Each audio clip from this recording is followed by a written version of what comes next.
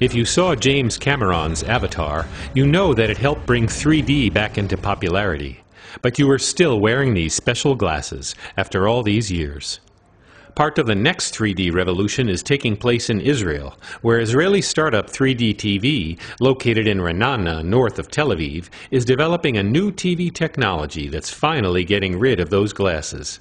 The idea is having screen without glasses because you cannot give glasses to everyone that walks by. Cameron had to shoot every scene with two cameras, one from the perspective of each eye.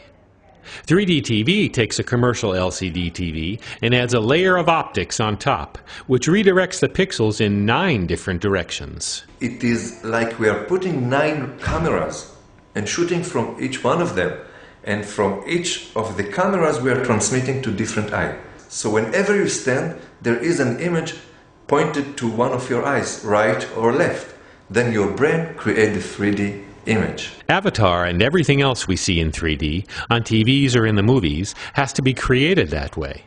And so this Israeli company also creates its own high quality content. In 3D, if you don't see a good image, you are losing the image and you start get dizzy.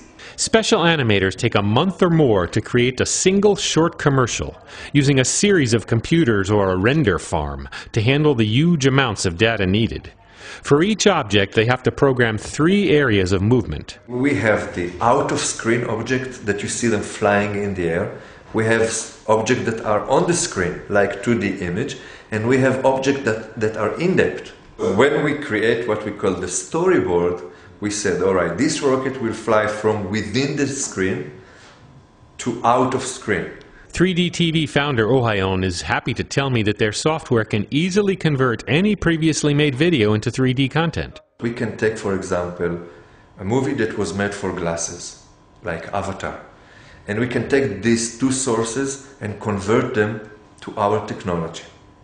We can take a 2D movie and then convert it to our technology. At this point, 3D TV is displaying their content in exhibitions, as well as in business centers and airports. This media is very good for exhibition because when you go and everyone shows screen and everyone show movie and you want to pop out out of everyone, you show 3D and then you see people standing around your screen.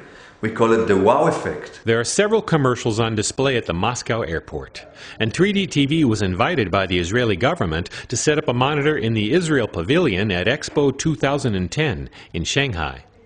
TV networks still can't broadcast most 3D programs because they're too large. The files are too big to be played on DVDs and have to be put on large hard drives. A DVD that have 4.7 gigabyte will be able to show only 10 seconds in this technology. With all the challenges, Ohayon envisions a time soon when 3D TVs will be everywhere, for use not only in entertainment but also in industry. The application of 3D is very vast. You can have it almost in anywhere, in medicine and in architecture. We see the world in 3D. And if we reach finally to some technology that, that allow us to see artificial 3D in our screen, so everything that you see, you would like to see in 3D. Everything changed. This is Harvey Stein reporting from Ra'anana, Israel.